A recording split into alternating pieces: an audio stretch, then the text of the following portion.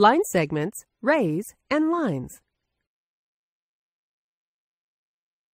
Remember that points represent a location in space and can have names. If we look at the following image, we have an island represented by point B and a boat anchored at the port and located at point A. If the boat starts sailing in a straight path towards the island, and we want to draw this path on the image, we can do that by filling as many points as we can between A and B. We call this resulting shape a line segment. It is a straight path between two points in space. Another way to draw this line segment is by using a ruler and a pencil to connect between these two points. Here we have a line segment that connects between the two points A and B. If we have another two points, C and D, and we connect between them, we will have another line segment.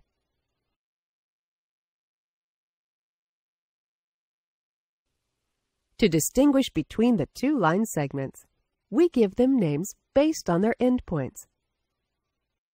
So we can call the first one AB.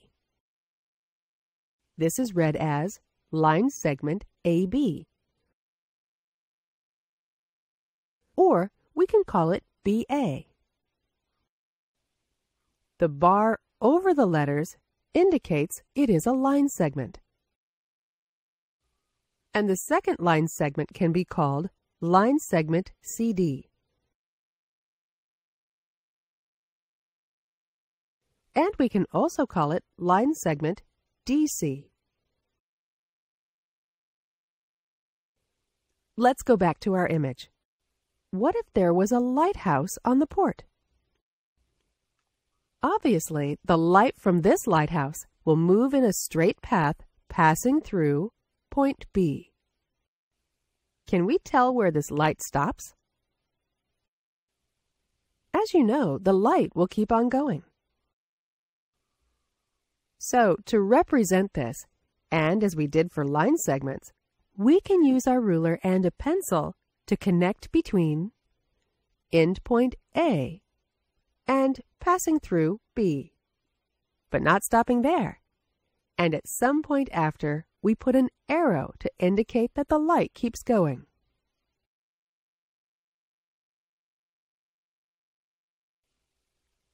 We call this a ray, and we name it ray AB. The arrow over the two letters indicates it is a ray, and the arrow's direction indicates that A is the end point where the ray starts. Let's take another look at our image. If we want to represent the horizon in this image, how can we do that? As you know, the horizon doesn't have a beginning or an end. It keeps going in both directions.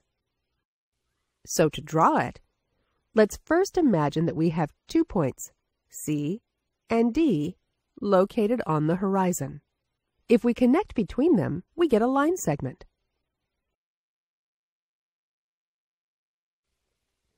But the horizon keeps going in both directions. So we draw an arrow before point C and another arrow after point D to show that this straight path doesn't end. We call this resulting shape a line. It's similar to line segment in that a line is a straight path of points, but it doesn't stop on both ends and keeps going. We call it line CD. And we can also call it line DC.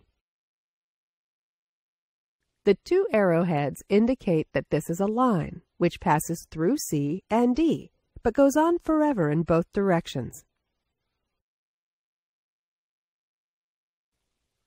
To summarize, a line is a straight path of points that goes on forever and can be named based on any two points it goes through. while a ray is part of a line where it starts at one end point in one direction and goes on forever in the other direction, and can be named based on the starting point and any other point it goes through. A line segment is part of a line between two points.